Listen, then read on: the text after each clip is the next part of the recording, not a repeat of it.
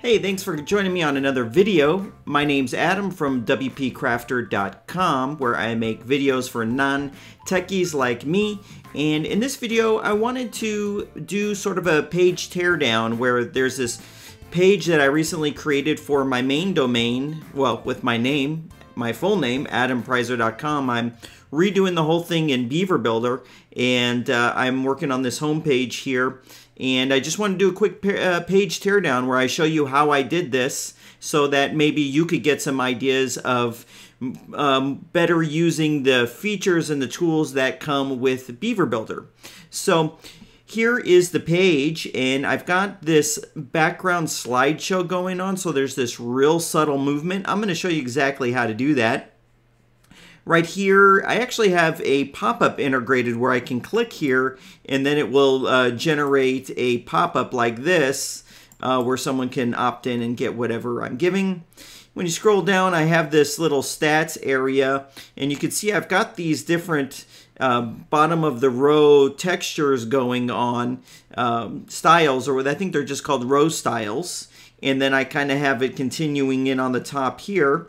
Then I have a little area here where I'm featuring some testimonials. So I have some testimonials here on the right from people that I may have helped with my videos.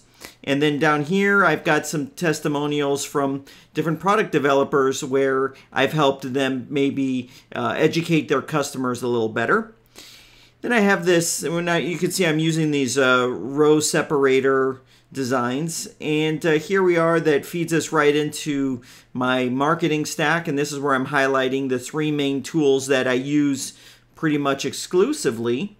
And then I've got another bottom of a row texture, which is this down arrow. And I'm pointing people off here to my different blog posts. And then I've got a little contact form here with a background image.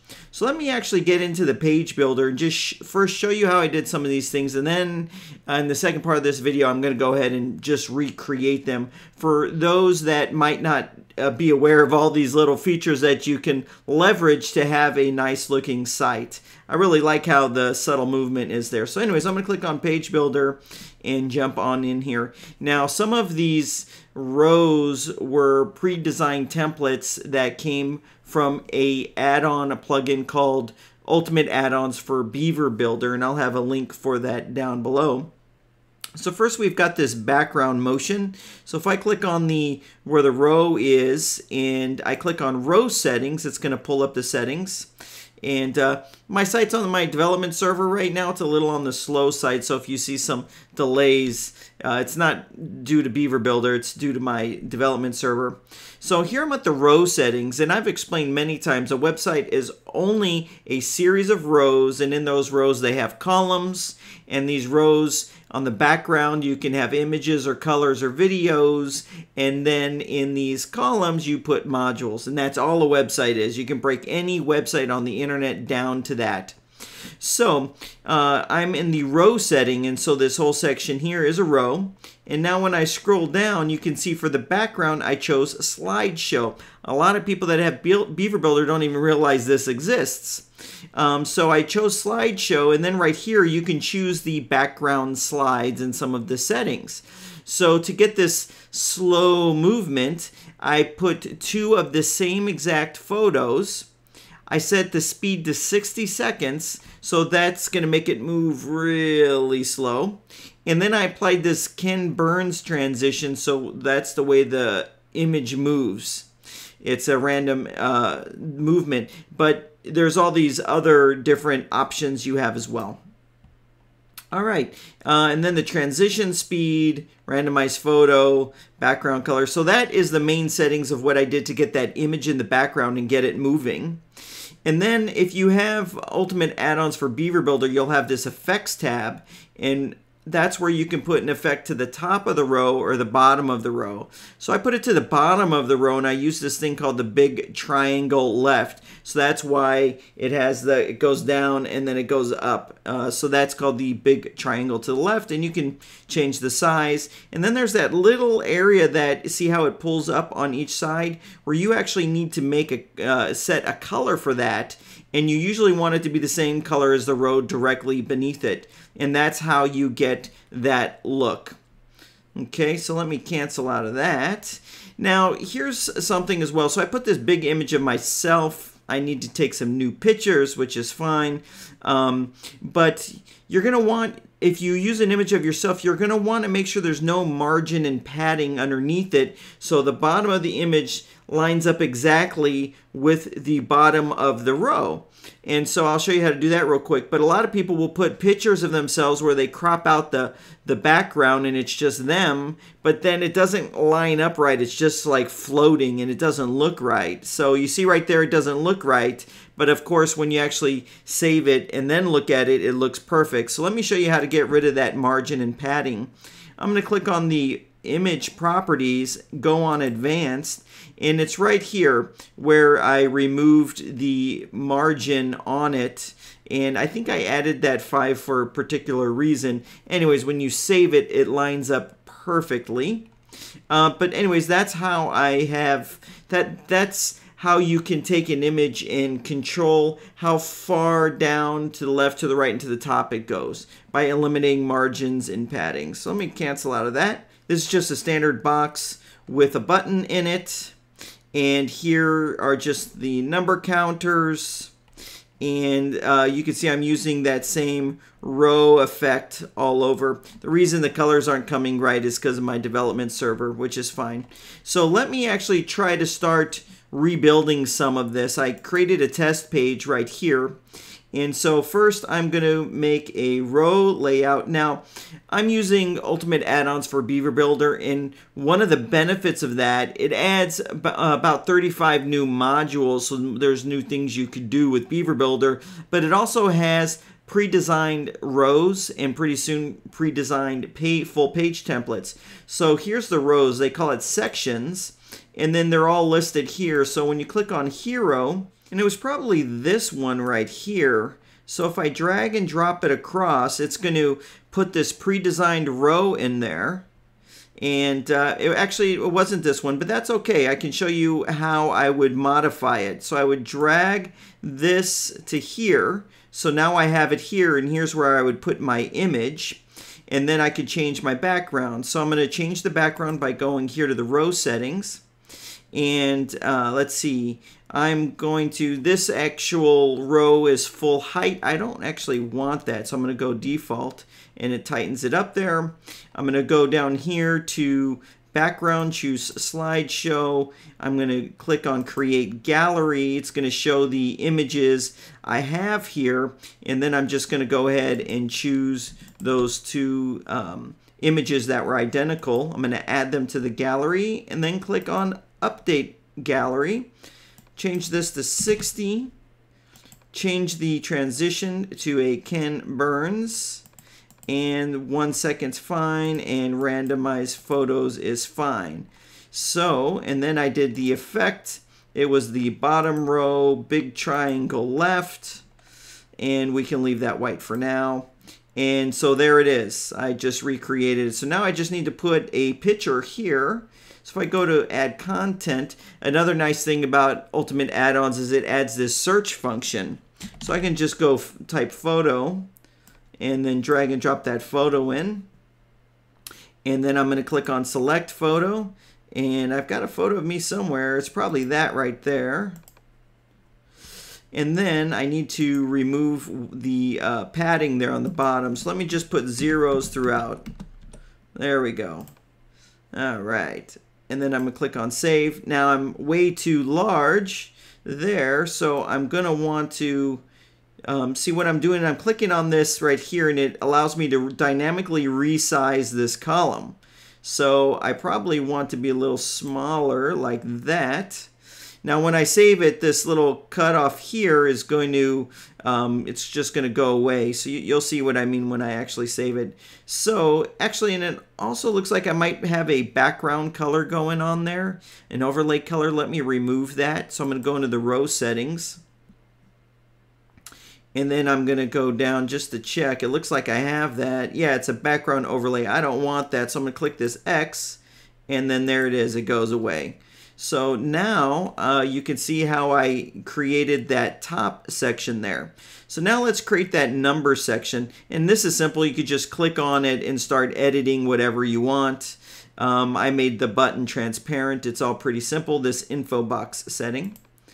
I would also push it down a little here on the top. Here's actually one of my favorite features that Ultimate Add-on adds. It adds the ability to center align a comment, uh, a column. And this is what I mean. So here's an element in this column. I can click right here, click on column settings, and then I'm going to get this option here to equalize column heights. I'll change that to yes and choose center. And so what that does is, and this is unique to Ultimate add-ons, it centered it perfectly for me, this column. That right there is actually huge because uh, when I discovered that, I use it all the time. Before, I would have to kind of guesstimate how far I needed to move something down and it wouldn't be exact. And with this one feature, I'm able to just center columns, and it's actually one of my favorite features. Okay, so now let me get to the number box below that. I'm going to click on sections again, and that was a number or a counter. Let's see how, oh, here it is, number. And it's see, da, da, da, which one was it? uh, this was it right here. So I'm going to drag and drop that. So these are these pre-designed columns that are, sorry, pre-designed rows that you get out of Ultimate add-ons for Beaver Builder. Now what I did is I didn't need four, I only needed three. So first I hit X to remove the module in there, and then you also have to remove that column that's how you remove the column. There you go. And now it just spread it out perfectly for me like that. And you can click in any one of these like this and change the icon to whatever you want. Ultimate Add-ons also adds four different icon packs. So here's one here. I actually really like these top four rows a lot. But you can see there's a lot more add-ons that you, I'm sorry, a lot more icons that are here. Here's a cute little rocket click on save and so that's all I did to uh, start um, to, to do this row but then I also added that same uh, effect to the bottom of it that same row effect so let me do that real quick I'm gonna go into the row settings and I'm gonna go to effects and this time it's not the top it's the bottom so I'm gonna do a big triangle right. So here's the left, and then I switch it over to the right. I'm going to have to come back in and fix these colors. I'm going to have to make the color right here match this color. And uh, actually, let's do that now. So if I went back to my row style, here's the background color. I can click here, and let's just copy the color code into my clipboard. And now I'm going to click on Save.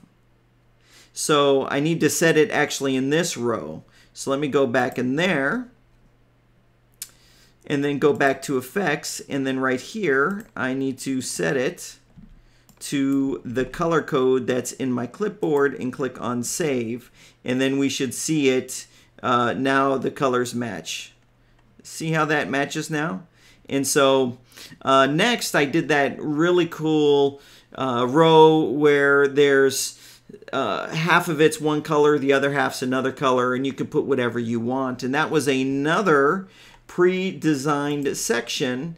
And let's see, that I think that might have been a content section. So I'm going to scroll down these pretty fast. Okay, so it's something similar to these, but that's not the one I used. Let's see if I find it. There's so many up. Here it is right here. So I'm going to drag and drop this down here. Okay, and it's going to pop up. And what I did is um, I made two of them. So this is how one was, and then I duplicated it, and then I just swapped the colors. So let me show you how to do that, and then I swapped the content across. So now I need to deal with this little gap problem right here. You see that, the color? And I actually might have just misled you. I think what I did is I applied the top row effect here and I didn't apply an effect here. So let me let me check that real quick. So let me remove this bottom effect that I just told you to add. That's okay. I'm doing this all off the cuff. So I'm going to go to effects and I'm going to eliminate that just like that and I'm going to save. And then I'm going to apply it to the top of here to get that effect that I had. So I'm, now I'm going to edit this row just like this and I'm going to go to effects and this I'm going to do on the top. I'm going to be doing a big triangle right and the background color I think I had to make that same color like that and let's see if that does it. Okay, so that's exactly how I did that. You see that? Um, how I made it go like this. And then I think I made this white. Right now I think it's that same kind of a gray. So let me change the color of this column. Now, I know when I was first using Beaver Builder, I missed these column settings and you don't want to miss them. So when you hover right here, you see this is a column and this is a column. But if you click here, like that, it gives you this option of column settings. So you don't want to miss that. And this is how you could put a picture just in this column uh, or change the color just in the column. So right here, I think I made it white just like that. So that's how you see it kind of stands out. All right, and I did the same thing here, but I flipped the color. So I will make this white and then this black. So I'm going to go here like I just showed you, column settings, and then I'm going to go down here and for background, I'm going to click here and make it black. Just like that. Now, when you have a black background or a dark background, Beaver Builder makes it really easy to change the text color. So I can also change the text color right here and make that white and that's how easy that is. And then I need to do the same thing here. I need to make this white. Uh, so I've got to go here, go to column settings, just like that. And uh, so the color, I need to remove the text color because it's going to be white. So the text needs to be black. So I'm going to get rid of that. And now the text went to its default color. And then the background, I'm going to get rid of that as well. And so that's how I got that effect right there. Now I think what I did is I added that row effect to the bottom down here. So let me do that. Okay, so I'm going to save that. And then I just moved this to here like that. So I went like this. I moved it here. And then I did this. And I moved it there. So you have that reversal flipping effect.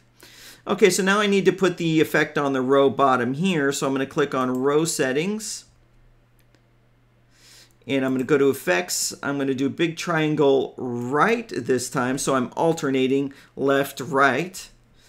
And then the background color, I'm going to put that same color in right there. And I'm going to click on save.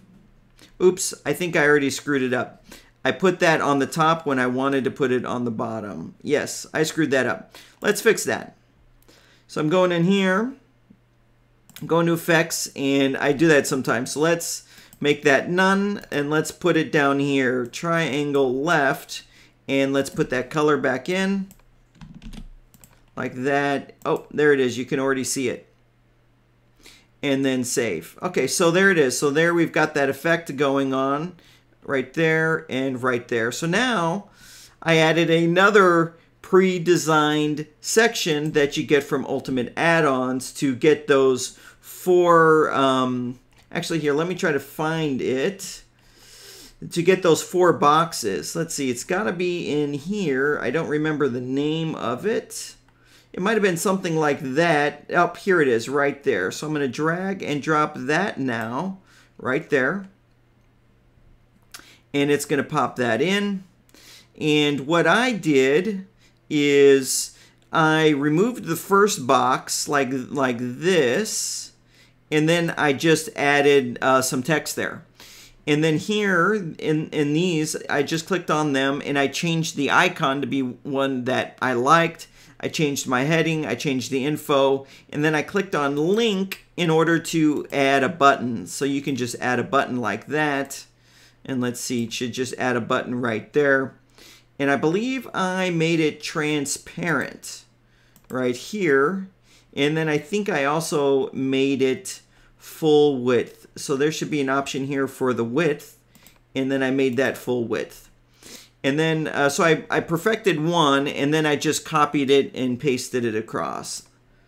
Just like that.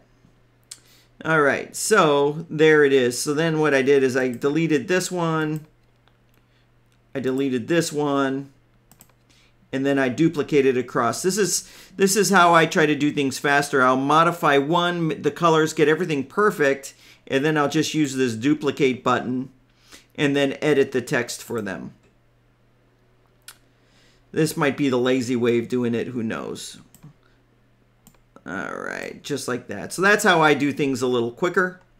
And then I added uh, the row texture on the row beneath this to get that down arrow. And that was simply just the, the blog grid. So if you go to uh, add content right here, let's see, I think if I type blog, it was just blog posts, something like that. I, I just added that down there. So I'm not going to go through that. And lastly, I added a uh, row with a contact form. And that's going to be sections and then I think it's contact info. So here's all these different pre-designed rows to highlight your contact information. This one's actually pretty nice right here and it would be very fitting. But I used this one right here. So let me drag that down to the bottom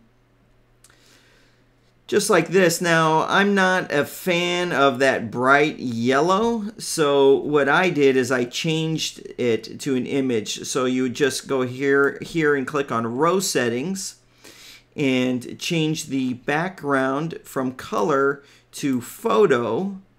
Select your photo, and I just chose this one right here. And then it's a little, you notice how it's a little hard to see your form. So what I did then, to make it easy to see, I added this background overlay, like that. Let's see.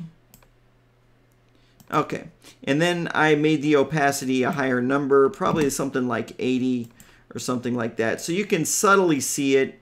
I probably actually won't keep that. I'm not like loving it. So let's see. And then I click save. Yeah, so I'm not really loving loving that background image. I'll figure out something to do with that. But anyways, this is essentially, you saw in the last 10 minutes, exactly how I built this page. And so all you'd have to do is click on done and you just saw how I built the home page for this site of mine. I hope that me showing you how I did this Actually, I don't care if you copy exactly what I did if you really liked it that much, but the purpose of it for me is to just show you how you can use real world experience to do these things and it might kind of give you some ideas of what you can do to make your site a little better or your client's sites a little better. I by no means am a website designer so for you designers watching this website, uh, give me a break because I'm not a website designer, and that's why I like to rely on tools like Beaver Builder and Ultimate Add-ons to kind of do the designing for me. I just change an image here, change some text there, and I'm done. And so that's kind of the way I like to build websites now. So anyways, uh, I've got links to all of this down below. Really quick, can you do something for me? If you're watching this on YouTube, can you give me a thumbs up? And I want to invite you to subscribe to this YouTube channel. There's a button right beneath me, and I'd really appreciate if you did that. And I've got something for you. I don't want you to leave empty-handed. If you just click off here to the side, it's a free video course that I've put together just for you called the three steps to WordPress success. You will love this course. Registration is free right now. All you have to do is click on the link right next to me. Hey, thanks for spending this time with me, and I can't wait to make another video for you.